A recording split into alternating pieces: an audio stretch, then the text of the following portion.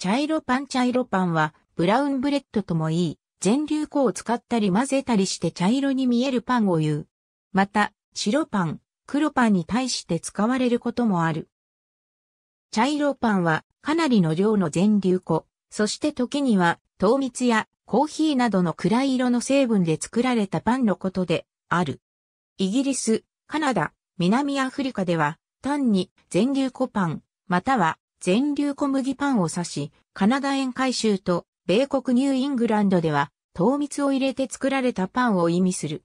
また、米国の一部の地域では、茶色パンは白パンとは対照的に単に小麦パンと呼ばれている。アイルランドでは、飢饉の間、1848年以前には、茶色パンが貧しい人々に配られた。イギリスでは、茶色パンは雑穀から作られていた。1845年頃とそれ以前は、雑穀の食事はあまり望ましくない穀物製品とみなされ、それに応じて価格が設定されていた。